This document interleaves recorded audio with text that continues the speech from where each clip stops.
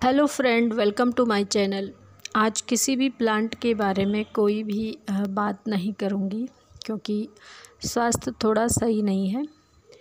और आज हम बस ऐसे ही अपने गार्डन में लगे कुछ प्लांट्स जो पहले से ही हैं, पुराने कोई प्लांट में अभी नहीं लाई हूँ।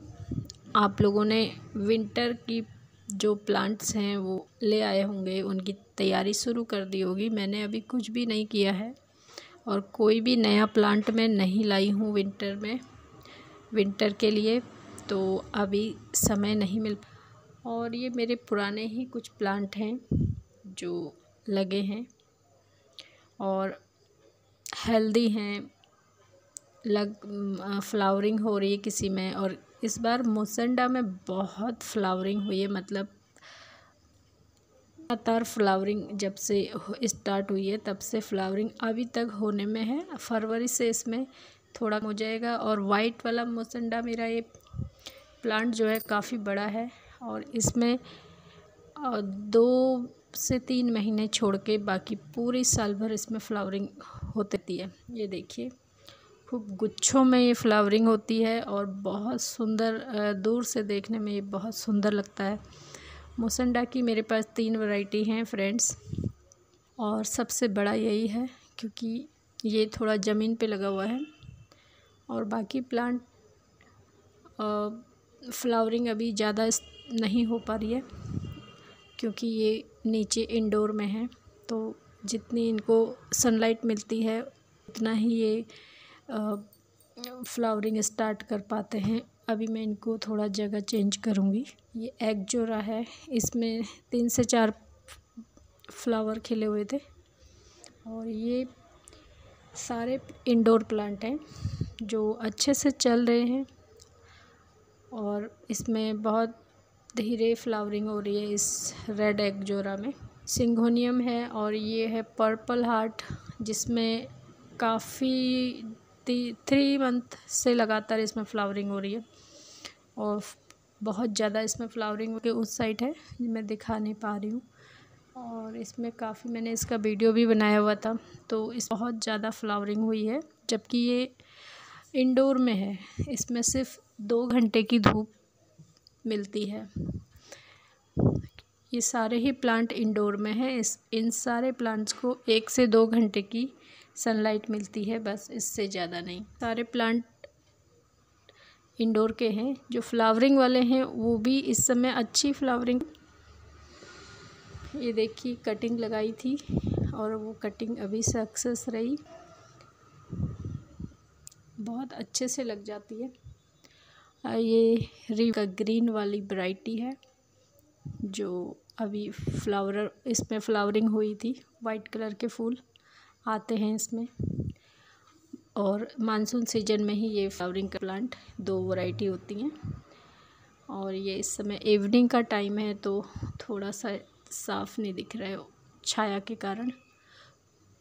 ये मेरे सारे इंडोर प्लांट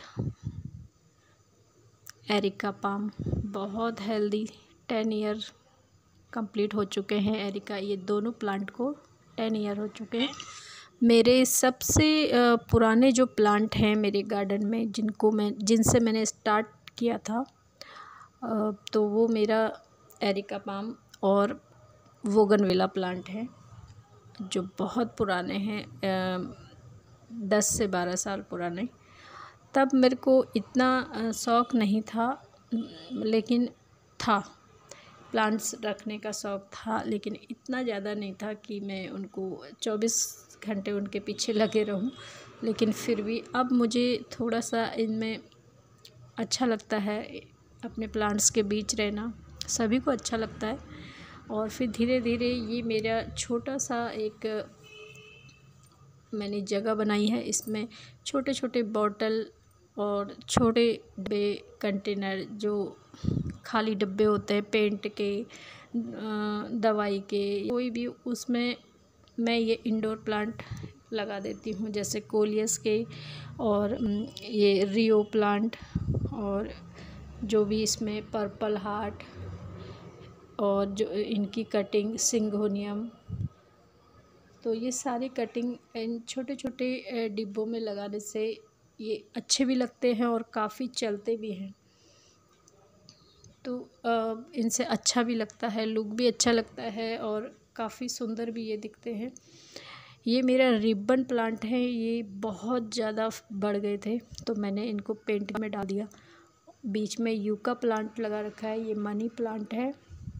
ये बहुत छोटे छोटे कंटेनर डब्बे में लगे हुए हैं, फ्रेंड्स, और काफ़ी सालों साल ये चलते हैं और अच्छे से चल जाते हैं। यहाँ पर ज़्यादा सनलाइट आती नहीं है, मुश्किल से एक दो घंटे की, इससे ज़्यादा नहीं आ पाती। तो फिर अब बहुत अच्छे से चल रहे हैं। और एरिका पाम काफ़ी हेल्दी है। अगर आपका अभी एरिका पाम के ऊपर मैंने पहले भी बनाया था अभी मैं फिर से बनाऊँगी कुछ टाइम बाद। और गार्डन बहुत बड़ा नहीं है, ये नीचे जगह हमारे ग्राउंड फ्लोर पे कम है तो इतना सा ही है। तो फ्रेंड्स आपको वीडियो कैसा लगा और यहाँ तक सपोर्ट बनाए रखने के लिए धन्यवाद। और यही आप बने रहिए। वीडियो को लाइक करिए, कमेंट करिए। थोड़ा सा स्वास्थ्य ठीक नहीं है। जल्दी ही मिलती हूँ अगले वीडियो में। तब तक अपना साथ बनाए रखना फ्रेंड्स, ऐसे ही सपोर्ट करिए और वीडियो को वॉच करते रहिए। कोई कमी हो तो ज़रूर बताइए। आप सभी का धन्यवाद। Thank you so much